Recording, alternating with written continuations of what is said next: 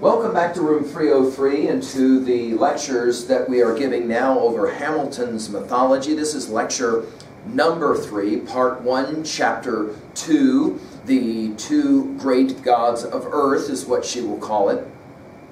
Uh, Demeter and Dionysius. It, it's significant, I think, for your notes already that um, Hamilton is going to give a full chapter to just these two gods. Uh, now, I think there's some reasons for that, and we'll try and get into that at the conclusion of our time uh, talking here. Uh, just to remind, I recommend that you hit learnstrong.net if you've not been watching my earlier two lectures, and watch that lecture number one, introduction, and then finally uh, lecture number two, the um, outline of the primary gods and goddesses. Um, again, back to my earlier suggestion, I hope that you can read this material on your own and annotate on your own and acquire your own learning, that connecting of new information to old information on your own, and then come to my lectures after you have finished reading at those three levels. What does the text say? Level one. What does the text mean? Level two. Again, themes, messages at 2A, rhetorical techniques at 2B. And then finally at, at level three, how can I relate to this information in some way at 3A? How can I relate this to other texts that I'm familiar with and to my world at large? And then finally at 3B, and most importantly, how can I relate this to myself, my own understanding of the world? Um, we'll try and do some of that, obviously, in our lecture now as well as we get into this conversation. We'll begin now uh, by picking up the very first paragraph of chapter 2. I'm going to read the opening paragraph and the concluding paragraphs at the end of our time together, just simply because I want to impress on you the real brilliance of Edith Hamilton as a prose stylist. Watch how she begins.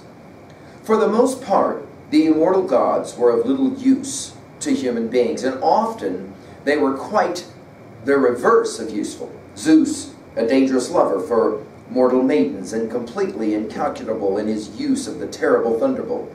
Ares, the maker of war and a general pest.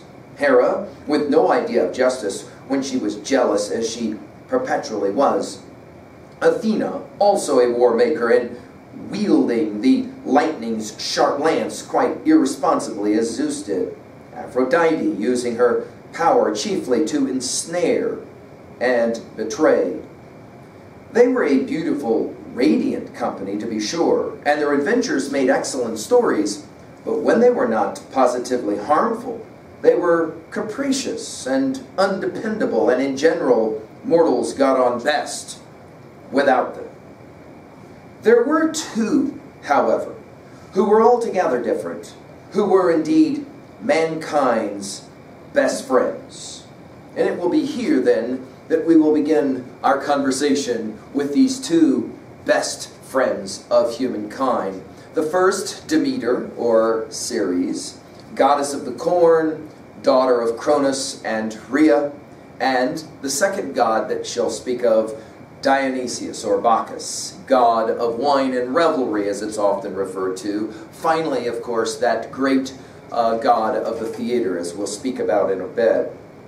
Demeter is older because corn is older than wine. To quote back to the opening lines of chapter 2, um, Edith Hamilton, she says, People could best understand Demeter, who was worshipped not like other gods by the bloody sacrifices men light, but in very humble acts that made the farm fruitful. Through her, the field of grain was hollowed, Demeter's holy grain. Um, in other words, what the point that she wants to make, and this is true for both of these earth gods, is that neither of them were all often worshipped just in uh, or, or, or, having to do with religious festivals or temples even. Um, they could be worshipped, they could be appreciated outside, if you will, of the temple. Demeter's chief festival came around harvest time. The early worship of hers, and, and this worship evolved apparently, was to just bake a loaf of bread, for example, and celebrate it through a festival. However, later, there were these mystery cults, this mysterious worship, and we know very little about this worship. Every five years, for about nine days, there was this, um, this worship that went on. Um, there was some stuff that happened outside of a temple and then stuff that happened inside of the temple at Eleusis and uh, the, near Athens and the Eleusinian mysteries as they were referred to. These for us are predominantly unknown. We know very little about them. Cicero, however, writing in the century before Christ, will say, Nothing is higher than these mysteries. They have sweetened our characters and softened our customs. They've made us pass from the condition of savages to true humanity. They have not only shown us the way to live joyfully, but they've taught us how to die with a better hope, end quote. Again, Cicero. Um, Dionysius, um, um, on the other hand, um, we're not really sure when the vine kind of took the place of um, the Eleusinian uh, mysteries. Um, but ended up, no one knows for sure why, ended up kind of side by side with Demeter. Um, it was natural, Edith Hamilton will argue, that both of these would be worshipped together. The breaking of bread, the drinking of wine, you can obviously see how they go together. Also, we're going to point out that each knew pain as well as joy. Both of these, let's put this in our notes because it's significant, are suffering gods. Um, other gods were untouched, we might say, by lasting grief. The way Hamilton says it in this way What happens to the corn plants and the luxurious branching vines when the grain is harvested, the grapes gathered, and the black frost sets in, killing the fresh green life of the fields? That is what men asked themselves when the first stories were told to explain what was so mysterious. The changes always passing before their eyes of day and night and the seasons and the stars in their courses. Though Demeter and Dionysius were the happy gods of the harvest, during the winter it was clear they were altogether different. They sorrowed, and the earth was sad. The men of long ago wondered why this should be, and they told stories to explain the reason. She then will, Edith Hamilton, will then get into the famous Demeter Persephone story. It is one of the earliest of the Homeric hymns, and it is attempting to explain, among other things, the seasons, and especially winter. Let's review the story quickly. It is a story that you do need to know because it's so often referenced, especially in some of the literature that will celebrate the spring, for reasons that will become self-evident once you know the story. Persephone is the young, beautiful daughter of Demeter. She is enticed by the wondrous bloom of the narcissus um, uh, flower, and she strays too far, and in so doing, she gives Hades, the god of the underworld, the opportunity to steal. The word is sometimes actually used rape her, but here the word rape means to take by force against one's will. Down to Hades she goes, and for nine days, Demeter, mother, seeks for her daughter. The sun tells her the story of what has happened. And Demeter will leave Olympus and will go to Eleusis outside of Athens. There, she will but kind of look as an old woman would, sitting there in mourning for the loss of her daughter. Four sisters will show up. They will take her to their mother, Matrina, and there Matrina will offer Demeter wine. And no, Demeter will say, I don't want wine, I want barley water with a little mint in it. That is to say, the drink of a poor reaper. Um, and this will become, of course, the sacred cup for worship uh, at Eleusis. Uh, Demeter then will um, will uh, be honored by the fact that she's treated so well in this house and she will take the son, uh, Demophon, of uh, uh, Matrinus and Silesius, and she will decide to raise this child as a young god. But in the process of doing so, uh, will put the young boy in a fire. And when Mama sees that, she screams, the goddess is angered, and Demeter will say that she needs to have a temple built for her, and this will uh, be the, the, the origination of why the temple then is built in honor of Demeter. Demeter, of course, is upset, right? Her daughter is not with her, she's unhappy, and so because she's unhappy, there is famine on the earth, nothing will grow. Zeus has had enough of it. He sends Hermes down to Hades to say Persephone must return. However, Hades is smart and he knows that if any human eats anything while in the underworld, that human then has to spend time in the underworld. And Hades will give Persephone a pomegranate seed. That's all that it takes. And when Demeter is told upon being, being reunited with Persephone that she, her daughter ate down in the underworld, then there has to be an arrangement. The arrangement, of course, is that for a certain period of the, of the year, we're aware now where seasons come from, right? For a certain period of the year, Demeter has to live without Persephone. That will, of course, be winter. Why? Well, Mama wants to be with her daughter, and she's sad, and all of that. The language that um, that uh, um, Hamilton will share with us, I think, is worth reading, and so let's read it. She um, she says it this way um, through the uh, through the language of the prose and then the poetry.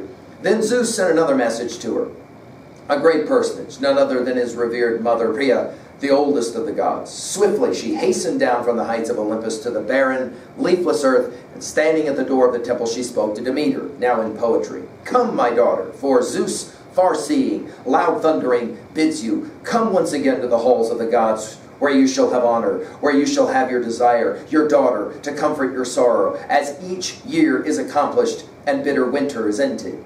For a third part only the kingdom of darkness shall hold her. For the rest you will keep her, you and the happy immortals. Peace now, give men life, which comes along from their from your giving. And the good goddess then will, um, Demeter will say, fine. And so she will allow for her daughter to live part of the time, those three months of winter, in Hades. And of course, during that time, nothing will grow on earth. This will kind of explain the ideas of why we have seasons and the like.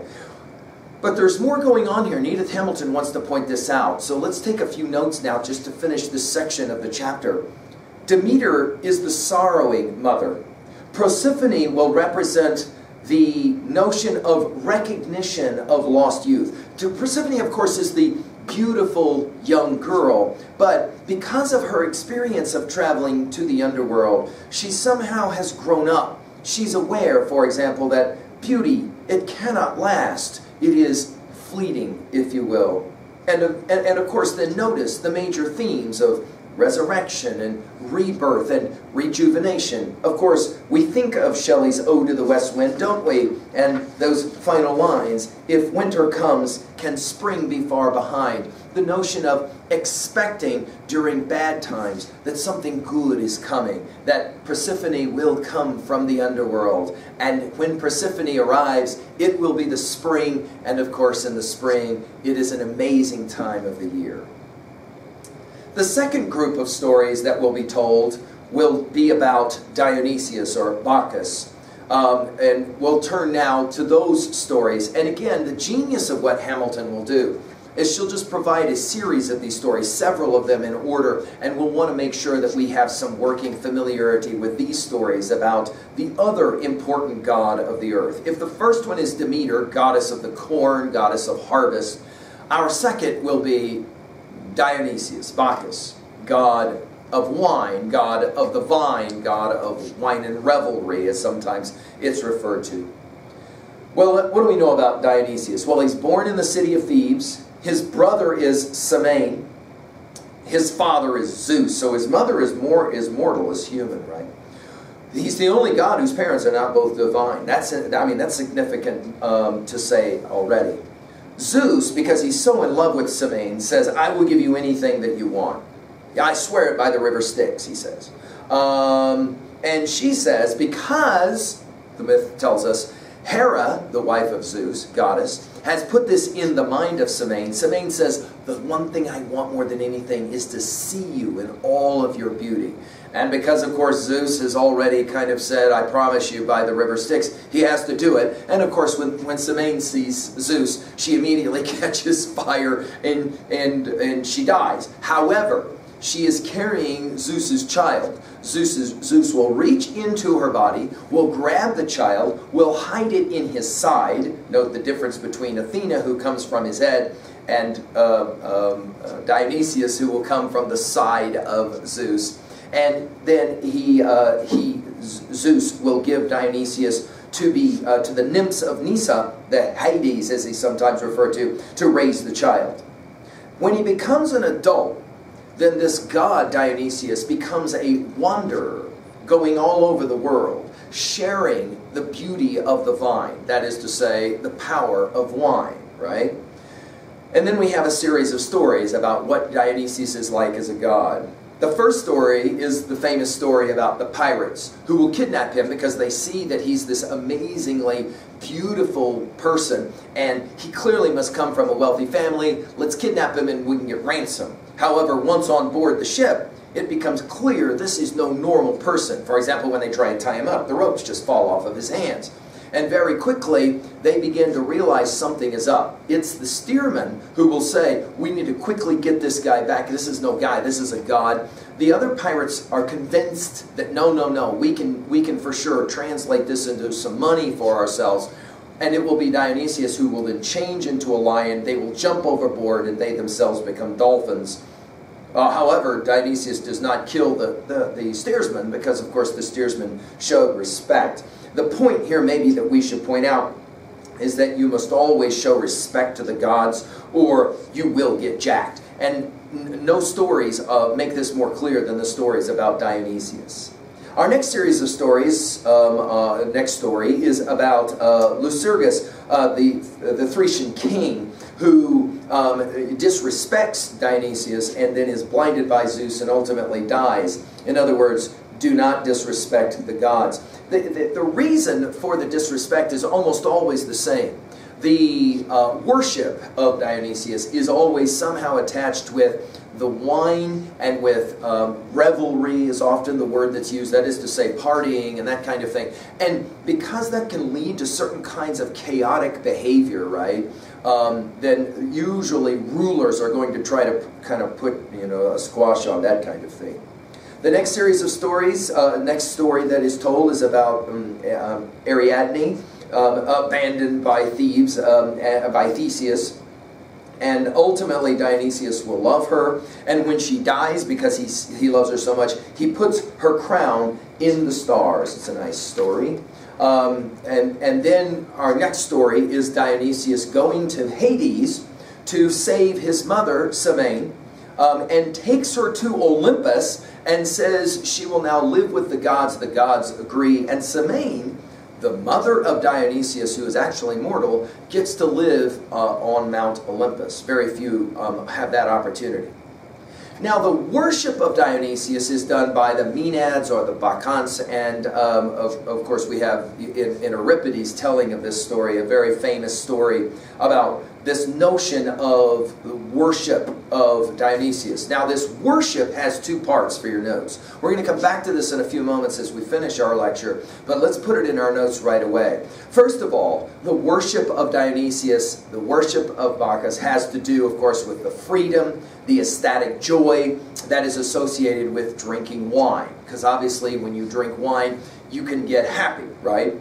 But then there's also the other side of the worship. There's a savage brutality, as we're going to see in the story that will get related now, that it's kind of scary. In other words, there's two sides to this notion of drinking wine. One, it makes you feel good. Two, if you do it too much, you get hungover, you get up in the morning, and of course you've got a bad, bad headache, or even worse, we think about drinking and driving as a classic example, don't we, right? Terrible things can happen as a byproduct because of the drinking of wine. Well, Dionysius in our story will arrive at his city of birth, Thebes, with all his entourage of women. Okay, um, many have pointed out that the notion of groupies that will hang out with a famous rock star or whatever is actually born in this notion of the celebration of Dionysius and his worship. Pentheus is not only the king of Thebes, but he's actually Dionysius' cousin. He's the son of, of Semele's sister, but he doesn't know it. And he is, he is in Euripides' play, he is immediately not pleased at all with what's going on with, uh, with Dionysius as he shows up. And ultimately, he is going to try to punish Dionysius. Dionysius will say to him, You are making a monumental mistake by disrespecting me. Ultimately, out onto the mountain goes Pentheus in search of Dionysius. He himself um, is, is out there in the wilderness the women who, the Bacchants, the women who are in, uh, um, worshiping Dionysius, go into an ecstatic frenzy. They see him, they attack him, and they tear him apart limb from limb and eat his flesh. The first one to do it is actually Pentheus's own mother. It's a disgusting um, story, and yet it speaks directly to this notion of what is most dangerous about the Dionysian uh, festival, the brutality of it, and the like. Well, out of this raises some interesting questions. Why is it that the Eleusinian mysteries and the worship of Demeter is somehow supplanted by Dionysius in the Dionysian festival? Hamilton gives an interesting observation. She says it's because of the type of festival, the type of worship. While the Eleusinian mysteries were quiet and they were secretive and ultimately died out, the worship to Dionysius happened in the spring in a famous festival, five-day festival, where what happened? Well, yeah, lots of crazy went down, but there was also an important connection with the plays there was a dramatic performance that would happen. For example, when you go to Athens and you stand there at the Parthenon, right next to the Parthenon on the Acropolis there, you can see a theater that's actually been cut out of the side of the mountain. You can see this in several other places as well, these theaters that are associated then with this, this festival in the spring, this celebration to uh, Dionysius. And for this reason, it's a very public kind of uh, festival. And, of course, this celebration ultimately then will lead to maybe the elongation and the saving of the Dionysian festival and the Dionysian worship. The way that uh, um, Hamilton will finish this chapter is worthy, however, of our reading. So I want to spend a few moments and just take a look at the final paragraphs of this chapter. It's beautiful writing she will say, It was a theater, and the ceremony was the performance of a play. The greatest poetry in Greece, and among the greatest in the world, was written for Dionysius. The poets who wrote the plays, the actors and singers who took part in